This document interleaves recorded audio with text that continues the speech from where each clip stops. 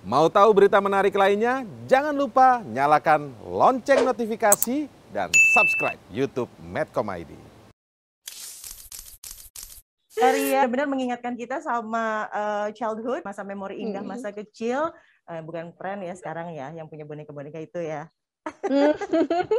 30 tahun nih karya Enes bersama Susan. Uh, ada bonding tersendiri nggak sih sama sama cerita-cerita dong dulu uh, sering kali mengiringi tidur kita, mengiringi hari-hari sore kita.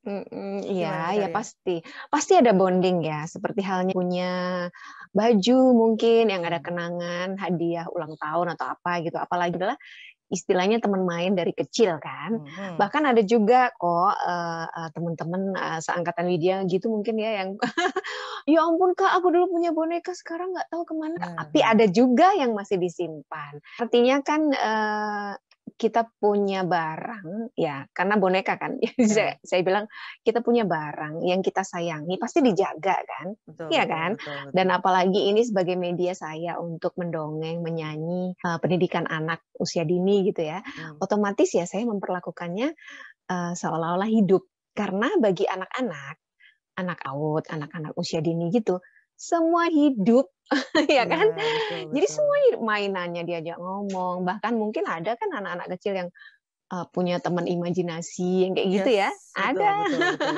tapi tidak banyak tapi ada nggak menutup mata juga ya Mhm. tapi seiring dengan usia lama-lama mereka realistis, otaknya berkembang sehingga hal-hal yang imajiner semakin berkurang, semakin berkurang. Seniman yang terus mengasah imajinasinya.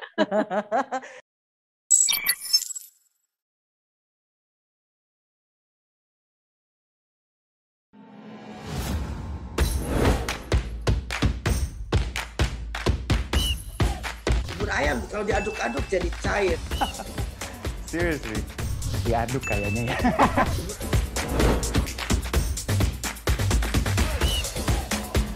Mau perlu luar negeri gimana ya? Ini, ini demi kemajuan bangsa Indonesia.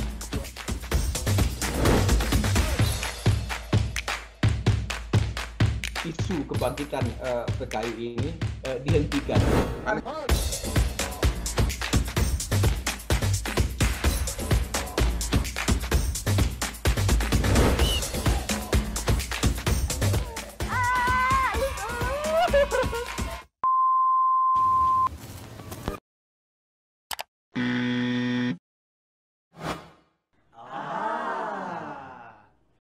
Medcom.id, a part of Media Group News.